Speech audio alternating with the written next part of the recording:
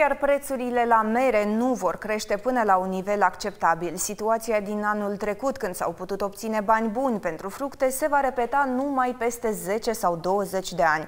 Prin urmare, cei care taie livezile, mai ales pe cele cu profit redus, procedează corect.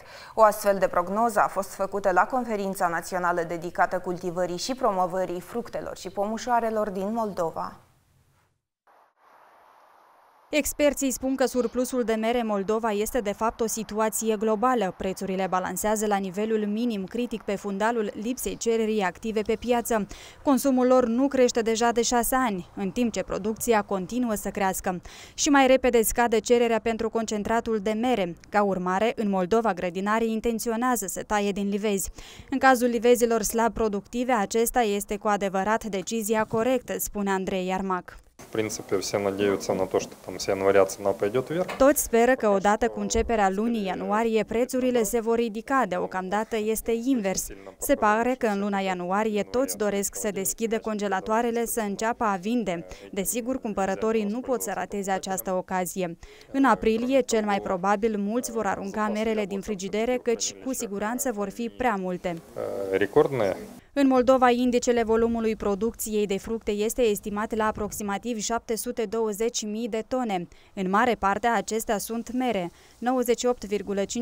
98,5% din acestea se exportă în Rusia. România a cumpărat aproximativ 500 de tone, un lot de testare a fost trimis în Olanda, iar altul în Dubai. Concluzia acestor statistici este că Moldova a învățat să crească mere, dar nu dezvoltă promovarea și marketingul. Un exemplu este că pe piețele atractive pentru Moldova sunt taxe neprofitabile atât pentru vânzător cât și pentru cumpărător. Во-первых, надо пойти и подписать соглашение. Mai întâi trebuie să mergeți și să semnați un acord. La noi de trei ani se vorbește despre semnarea unui acord cu Egiptul. Europa vinde mere în Egipt pe baza unui acord semnat, dar noi avem trei ani de când doar vorbim. Până nu există un acord, vom vorbi doar. Dar nici un doar. La tot timpul.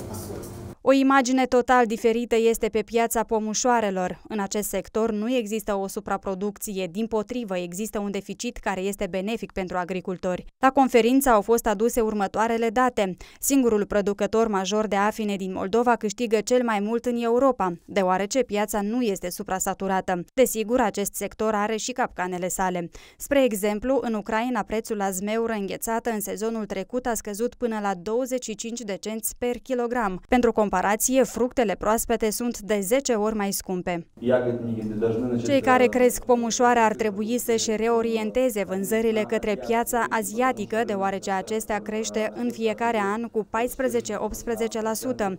Acolo prețul fructelor de pădure este de două ori mai mare decât în Europa. Piața moldovenească de pomușoare este slab dezvoltată datorită acestui fapt, ea crește rapid. Anul trecut, 2800 de tone de pomușoare au fost expediate în străinătate, în acest caz între 3600-3800 de tone. Producția de căpșuni și zmeură au fost exportate pe piața rusă în întregime, iar așa numitele culturi de nișă, catină, măceșul, coarnele în Europa Centrală și țările arabe.